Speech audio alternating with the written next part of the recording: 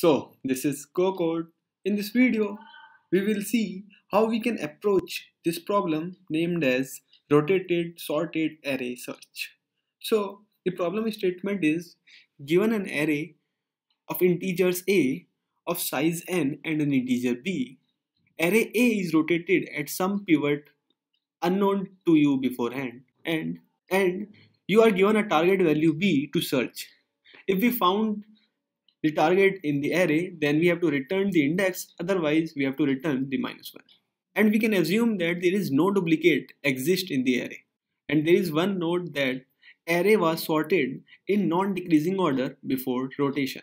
So the problem is, initially we have some array which is in increasing order. Let's say we have, and then this array is rotated with at some pivot which is unknown, let's say the array is rotated about this position, then the final array will become this. And then we have to find a number k which is present in this final array or not. Let's say if k is 5, then this 5 is present here. So we have to return this in the index of this 5. So the index of 5 is 0. So we will return 0. Uh, let's say if the k is 100 since 100 is not present in this final array, then we have to return the minus 1. Now let's see how we can approach this problem. The brute force approach to solve this problem is we will iterate over all the array and check whether the element is equal to k or not. If it is, then we will return the index of that element. But the complexity of this brute force approach is big O of n because we are iterating over all the array. So now let's see can we do better than this or not? Suppose this is the initial array before rotation and this array is rotated about the element 9. Then the final array will become this. Now if we observe this array, then we can say that this part of the array is in increasing order and this part of the array is also is in increasing order. So we can say that so we can easily separate this array in two parts using this line. Now let's suppose this line represents a number line.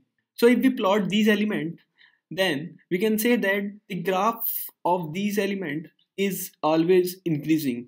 So we can plot these elements as this. And similarly, if we plot these elements, we can say that the graph of this these element is also in increasing.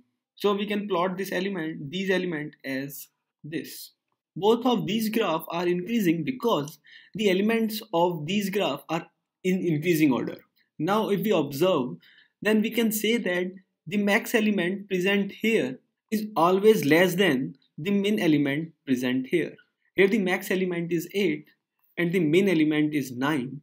So by this property we can say that this graph cannot go beyond this point. So we can make a line here also. So now let's see how we can make this graph. So suppose this is our array and we want to make the graph of this array. And let's say this is the number line where all the numbers between 1 to 13 are present. So let's assume that this array as x-axis and this number line as y-axis. So now 9 comma 9 is present here 12 comma 12 is present here. So the graph will become like this. And similarly 1 comma 1 is present here 2 comma 2 is present here. So this graph will also look like this. And these two graphs are separated by this line because all the number here in this graph is always less than all the number present in this graph. So now let's see how we can use this information. Now as we observe the data is something like increasing in order. So if data is in increasing order and we have to find some element in the data, then we can always use binary search.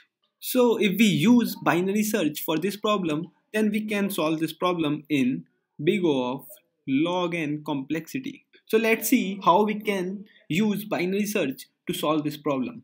As we know, for binary search, we required some range to search the element. Let's say the range is in between L and R. So here L and R is the whole array. There are three conditions in which L and R can exist. One is our L and R will cover the range in this part. Other is our L and R cover this range. And one is our L and R will cover this range. So there are total three possibilities for L and R. One is for this range, one is for this range, and one is for whole range. Let's suppose if we know in which range we are at. Suppose if we know we are at in this range, then we can say that our data is only in increasing order. So we can use simple binary search. Uh, let's say our mid lie here and if the number is greater than our mid then our answer will lie in between this these element. And if the number if the required number is less than the mid then our answer will lie in this range.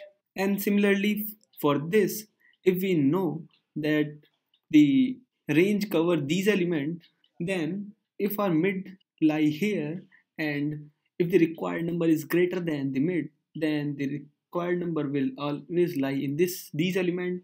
And if the required number is less than mid then the required number lie in these element. Because here the data is only in increasing order. And for increasing order simple binary search condition will work.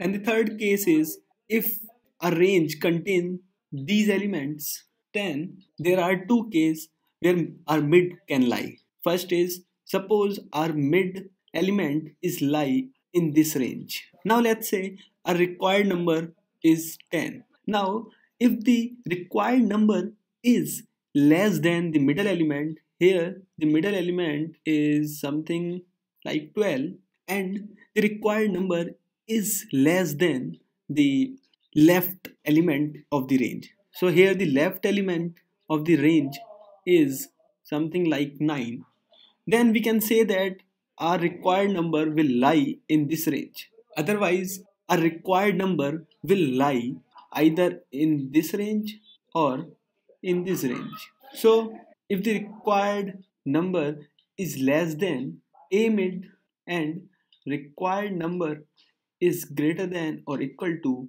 al then our a number will lie in between l and mid minus 1 otherwise our required number will lie in between mid plus 1 comma r. And other possibility is our mid element will lie in this range. So here suppose our required number k is 7 so here if the required element is greater than the mid so here the mid is something like 4 and the last element is something like 8 so if the required element is greater than mid and less than a of r then our required number will lie in this range otherwise our required number will lie in this range or in this range. So for the case 2, if the required number that is k is greater than a mid and k is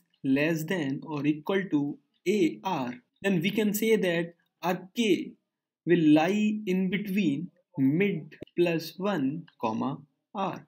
Otherwise, our k will lie bit in between l comma mid minus 1. So there are two cases for the range. First case is our L and R lie in one of the increasing range. That is our L or L and R contains only either of these element or either of these elements. And the case 2 is L and R contain both increasing range. That is L and R contain both this range and this range. So here this is our L and this is our R. So for first case, we can use simple binary search conditions. And for this case, we have seen there are two cases. The case one is our mid lies in the left increasing element. That is our mid lies here. And the case two is our mid lies in the right increasing element. That is our mid lies here. So these are the conditions if we know where we are. That is if we know in which range we are at. So our next task is we have to find in which range we are that is range 1 or range 2. So for the case 1 we know that the elements are in increasing order. So for this a of L is always less than a of R. So if a of L is less than a of R then we are in either this range or either in this range. That is case 1 otherwise we are in this case. That is a range contain both the increasing ranges. So now we know all the conditions for the binary search. So now let's see how we can implement this problem.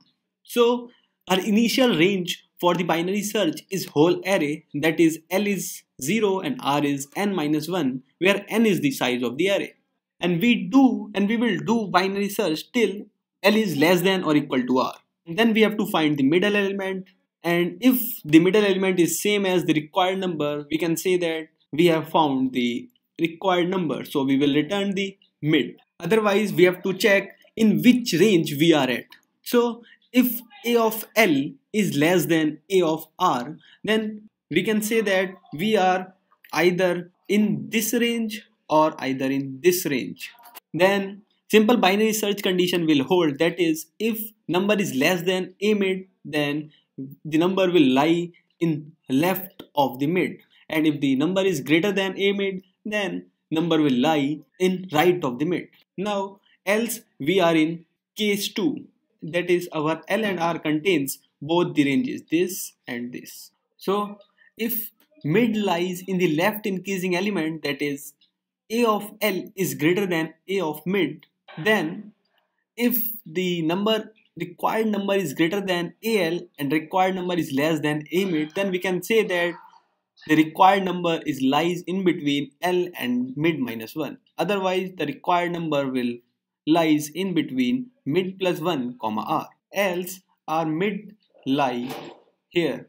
Then we can say that if A of mid is less than number and number is less than AR then our required number will lie in between mid plus 1 comma r. Otherwise, the number will lie in between L comma mid minus 1. And if in the end, if we doesn't find required number, then we will return minus 1. So this is how we can solve this problem in big O of log n complexity. The code of this problem is given in the description. So let's stop here and we will meet in next video.